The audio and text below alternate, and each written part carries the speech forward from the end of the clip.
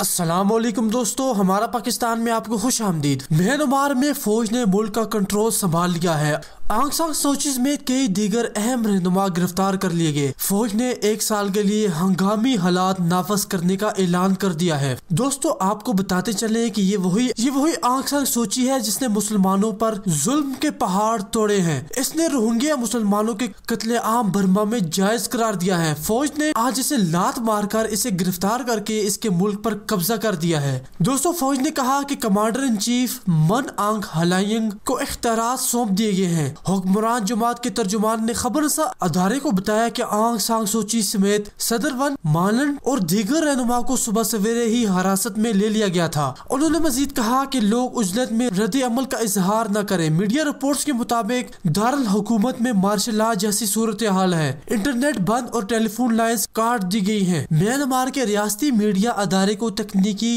मसाइल का सामना है। फौज ने सूबों के वज़ीर आला के घरों पर भी छापे मारकर उन्हें भी हिरासत में ले लिया। आज होने वाले पार्लियामेंट के इजलास मनसूख कर दिया गया। फौज ने पहले इस इजलास को अल्तवा का मुतालबा किया था।